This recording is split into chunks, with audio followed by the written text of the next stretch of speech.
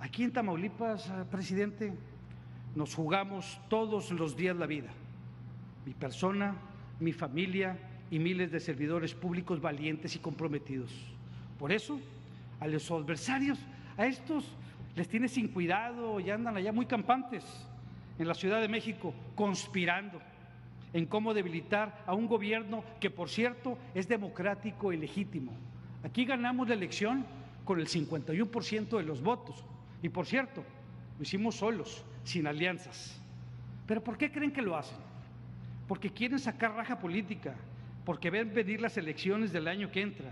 Pero estos son tan irresponsables que no entienden que aquí ese tipo de politiquería cuesta vida, señor presidente.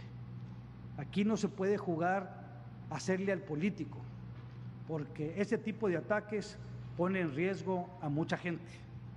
Y la política, la política no puede ni debe ser así. Los gobiernos, los gobiernos nos debemos dedicar a trabajar, que los partidos y que los candidatos debatan y compitan en buena lid.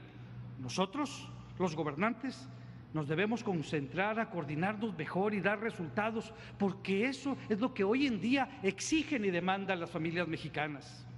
Pero como usted acertadamente ha dicho, señor presidente, la gente no merece mezquindades, sino responsabilidad de parte de quienes hemos sido electos.